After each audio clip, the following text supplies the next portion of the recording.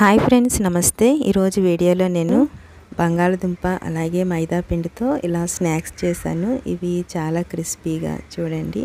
చాలా టేస్టీగా ఉంటాయి ఫ్రెండ్స్. మనం పిల్లలు స్కూల్ నుంచి ఇంటికి రాగానే ఇవ్వడానికైనా స్నాక్స్ బాక్స్లో పెట్టడానికైనా కూడా చాలా బాగుంటాయి. పిల్లలు కూడా చాలా ఇష్టంగా తింటారు. చూడండి ఎంత క్రిస్పీగా వచ్చినాయో. చూసారు కదా వీటిని ఎలా చేసుకోవాలో చూద్దాం. నేను ఇక్కడ మీడియం సైజు బంగాళదుంపలు ఒక మూడు ఉడికించుకున్నాను. వీటిని ఇలాగా పీల్ తీసుకోండి. ఇలా మొత్తం అన్నిటికీ పీల్ తీసుకున్న తర్వాత చూడండి. ఇలాగ నేను కుక్కర్లో పెట్టుకుని ఉడికించుకున్నాను ఫ్రెండ్స్. నేను సాల్ట్ వేయలేదు. సాల్ట్ వేయకుండానే ఉడికించుకోవాలి. ఇలా ఉడికించిన తర్వాత ఇలా ముక్కల కింద కట్ చేసుకుని మీ దగ్గర గ్రేట్ మామూలుగా క్యారెట్ అవి గ్రేక్ చేసుకునేది ఉంటుంది కదా దాంతో అయినా చేసుకోవచ్చు. నేను ఇలాగ మిక్సీలో మనం టీ తాగే గ్లాస్ ఉంటుంది కదా ఒక హాఫ్ గ్లాస్ వాటర్ వేసుకుని ఇలాగ మెత్తగా పేస్ట్ కింద చేసుకున్నాను. అలాగే రెండు కప్పులు మైదా పిండి తీసుకుంటున్నాను. ఇలా తీసుకున్న తర్వాత ఇప్పుడు దీంట్లో ఒక స్పూన్ వరకు వాము వేసుకోండి. అలాగే టేస్ట్కి సరిపడినంత సాల్ట్ కూడా వేసుకోవాలి. వేసుకున్న తర్వాత ఇప్పుడు దీంట్లో మనము ఒక పావు టీ స్పూన్ పసుపు అలాగే ఒక మీకు కారం ఇష్టంగా అయితే కనుక కొంచెం ఎక్కువ వేసుకోవచ్చు. బాగుంటుంది. ఒక హాఫ్ టీ స్పూన్ వరకు కారము ఒక రెండు స్పూన్లు నువ్వులు వేసుకుని ఇలాగా మొత్తాన్ని ఒకసారి కలుపుకోండి. ఇందులో వాటర్ ఏమీ వేయకుండా నాకు తెలిసి ఇదంతా సరిపోతుంది. నాకు అలాగే సరిపోయింది ఫ్రెండ్స్. వాటర్ ఏమీ వేయలేదు ఇందులో. ఒకసారి ఇలాగా కలుపుకోవాలి. మీరు ఒకవేళ గ్రేటర్తో గ్రేట్ చేసుకున్నట్టయితే వాటర్ పడుతుంది. మనకి ఇది మనం మిక్సీలో వేసుకున్నప్పుడు ఒక పావు గ్లాసు వాటర్ పట్టిందని చెప్పాను కదా.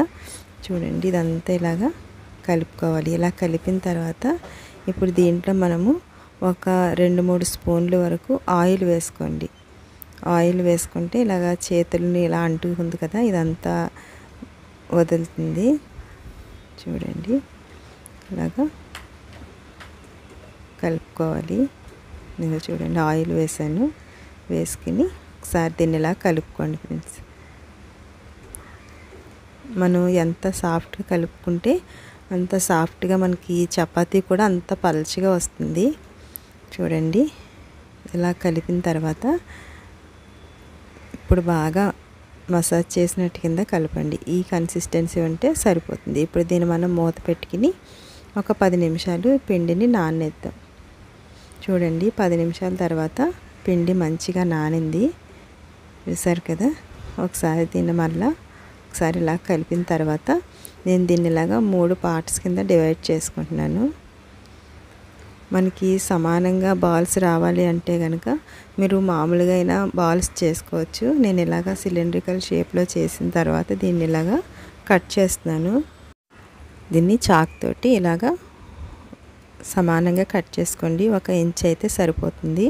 మనకి బాల్స్ అనేవి సమానంగా వస్తాయి అన్నమాట ఇలాగ అన్నిటినీ కట్ చేసుకున్న తర్వాత వీటిని ఇలాగా మనం బాల్స్ కింద చేసుకుని పెట్టుకోవాలి. మనం ప్రాసెస్ అనుకుంటాం కానీ మనం ఒక్కసారి చేసి పెట్టుకుంటే కనీసం ఇవి వారం రోజుల వరకు అయినా నిల్వ ఉంటాయి ఫ్రెండ్స్. చూడండి ఇవన్నీ ఇలా చేసి పెట్టుకున్న తర్వాత ఇప్పుడు దీన్ని మనం చిన్న చిన్న పూరీల కింద చేసుకోవాలి. ఇలా చేసిన తర్వాత చూడండి ఒక్కొక్కటిగా చేసుకోండి. ఇలా చేసుకుని పక్కన పెట్టుకోండి. ఇలాగ ఒక నాలుగు పూరీలు చేసుకోండి.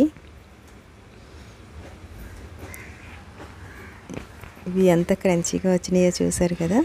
ఇప్పుడు దాని మీద మనము ఇలాగ ఆయిల్ని అప్లై చేసుకోవాలి. ఇలా అప్లై చేసుకున్న తర్వాత దీన్ని దీని మీద వేసుకోండి. అలాగా ఒక నాలుగు పూరీల కింద చేసుకుని చిన్నవి అలా పెట్టుకోవాలి. పెట్టిన తర్వాత దాన్ని మరలా మనము పెద్ద చపాతీ కింద పలచగా దీన్ని ఇలాగా చేసుకోవాలి. ఇలాగా ఒకటి కూడా వేసుకునేలాగా చేసుకోవాలి ఫ్రెండ్స్. నేను నాలుగు చేశాను. నాలుగు చేసి దీని మీద వేసుకున్నాను. చాలా టేస్టీగా ఉండి పొటాటో చిప్స్ లాగా ఉంటాయి. ఇప్పుడు దీన్ని కూడా దీంట్లో దీని మీద వేసుకుని వీటన్నిటిని ఒకసారి లాగా చూడండి ఇప్పుడు దీన్ని ఇలా మనము కొంచెం పిండి వేసుకుంటూ పల్చని చపాతీలా చేసుకోవాలి. చూడండి. మనకి మైదా పిండితో మనం గట్టిగా పిండి కలపకుండా సాఫ్ట్గా కలిపినట్టయితే మనకి ఎంత పలచగా అయినా సరే ఇది వస్తుంది. చూడండి ఇంకా. ఇలా చేసిన తర్వాత నాకు ఈ చపాతీ పేట మీద అంత సరిపోలేదు అందుకని చెప్పి నేను చాపింగ్ బోర్డు మీద వేసి చేశాను. చూడండి ఇంత పలచగా చేసుకోవాలి. ఇలా చేసుకోవడం వల్ల మనకి క్రిస్పీ అనేది వస్తుంది. తొందరగా కూడా ఏగిపోతాయి. ఇలాగ చిన్న గ్లాస్ అయినా ఇలా చిన్న డబ్బాలు ఉంటాయి కదా చిన్న వాటితో అయినా మీరు ఇలాగా చేసుకోవచ్చు. ఇలా చేసిన తర్వాత ఇప్పుడు వీటిని ఎక్స్ట్రా ఉన్నదంతా తీసేసుకోండి. ఇలా తీసిన తర్వాత చూడండి. తీసిన తర్వాత మళ్ళీ దీన్ని మనం ఆ పిండిలో వేసేసుకోవచ్చు. కొంచెం ఆయిల్ అప్లై చేసుకుని వీటన్నిటికీ చూడండి. ఇలా అప్లై చేసిన తర్వాత వీటిని మనము ఇలాగా ఆఫ్ ఇలా మడుచుకోవాలి.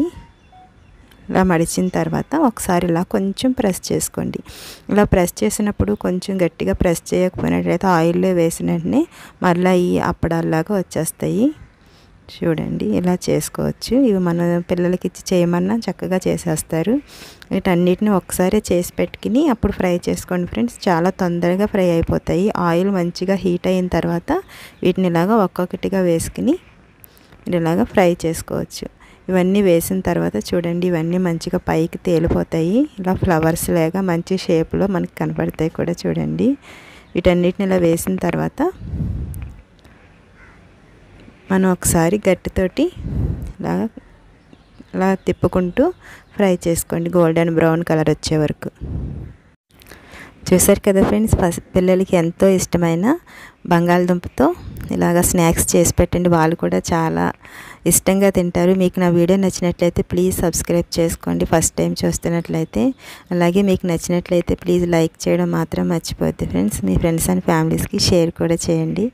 చూసారు కదా ఫ్రెండ్స్ ఎంత క్రిస్పీగా ఉండే స్నాక్స్ టీ టైం అయినా తినచ్చు. పిల్లల నుంచి పెద్దవాళ్ళ వరకు ఎవరైనా సరే హ్యాపీగా ఎంజాయ్ చేస్తారు. చూడండి ఎంత క్రిస్పీగా వచ్చినాయో. Okay friends thanks for watching.